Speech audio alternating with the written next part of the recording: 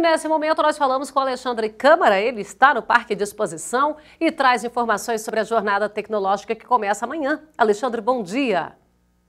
Bom dia, Fabélia. Bom dia, produtores. Bom domingo a todos. Bom, aqui no Sindicato Rural, a exposição agropecuária já começou. E nós vemos a movimentação da imprensa, a movimentação dos produtores, dos animais. E segunda-feira nós vamos dar início às nove e meia da manhã da nossa sexta jornada tecnológica. Essa jornada tecnológica terá como novidade alguns, algumas palestras técnicas diferentes dos anos anteriores. Na segunda-feira nós, nós teremos o manejo integrado de pragas com a professora doutora Jurema Fonseca Hatz. Um grande abraço, Jurema. É um prazer estar, estar com você aqui na segunda-feira. Depois, na terça-feira, nós vamos ter aí o café da manhã com o produtor e a palestra Boas Práticas Agronômicas. E nessa palestra nós vamos convidar os participantes para fazerem ou participarem do jogos Bo Jogo Boas, que é um jogo praticado aí pelos produtores rurais e é uma palestra interativa um tanto quanto agradável. Na terça-feira à tarde também nós teremos a participação ou a mediação de um uma palestra sobre contratos agrícolas e contratos agrários. Eu terei o prazer de ser o mediador. A doutora, jo, da doutora Dejane Mafissoni será a debatedora junto com a doutora Ana Paula Barbosa. Nós estaremos trabalhando essas questões dos, dos contratos agrários como um todo. Bom, na quarta-feira nós vamos ter aí Embrapa Gado de Corte, professor Ademir Zimmermann, que vai falar sobre integração lavoura-pecuária. Na quinta-feira, a gente não poderia deixar a turma do leite sem chumbo. E na, na quinta-feira nós teremos aí perspectivas para o mercado lácteo. E para encerrar a nossa jornada tecnológica, nós que não temos problema com clima e não tivemos, né? Falo isso brincando, porque nossos produtores estão amargando a quebra da safrinha.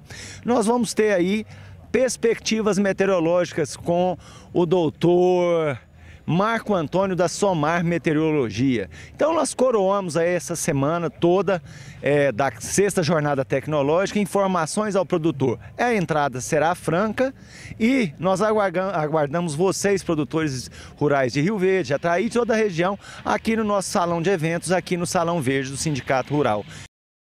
E amanhã vai ter um show que ainda não fazia parte dessa agenda da Expo Rio Verde. E Alexandre tem mais detalhes.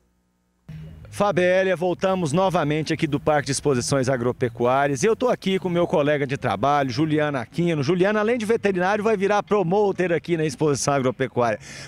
Conta para nós, Juliana, que show que você está promovendo. Faz o convite aí aos nossos produtores rurais, não só os produtores, mas a comunidade como um todo. Fala aí, Juliana. Nós estamos trazendo para a cidade de Rio Verde, para a exposição aqui nesse ano, o show do cantor Fernandinho. É um show gospel. Eu creio que vai ter uma unção sobrenatural aqui nesse lugar. Você que nunca viu, nunca teve a oportunidade de conhecer e de vir a um show gospel, venha, vale a pena. Aqui vai ser um lugar aqui que vai haver quebrantamento, vai, vai, vai haver uma, uma alegria diferente de outros shows que você nunca teve, você vai ter aqui no Parque Exposição. Juliane, qual que é o preço do convite? O, o, a pessoa interessada pode vir aqui ao Parque de Exposições hoje, domingo, adquirir esse convite. Como é que é que ele faz para adquirir esse convite para o show do Fernandinho aí, tão falado? Eu pessoalmente não conheço, mas teria o prazer de ouvi-lo aqui no nosso Sindicato Rural. Uma das coisas que eu fiquei muito satisfeito, a repercussão do show do Fernandinho foi muito grande. As pessoas estão falando, cidades vizinhas estão nos ligando, querendo vir para o show do Fernandinho. O show do Fernandinho é, é no dia 11 agora, segunda-feira, 11 de julho. E o show alertando as pessoas, os irmãos, que começa às 9 horas da noite o show do Fernandinho. Sete e meia da noite nós vamos ter uma banda local que vai abrir o evento. E 9 horas começa o show do Fernandinho. Os ingressos são por lote. O primeiro lote da pista custa 20 reais e o primeiro lote da Extra VIP custa 40 reais. Lembrando que na área Extra VIP será servido água e refrigerante.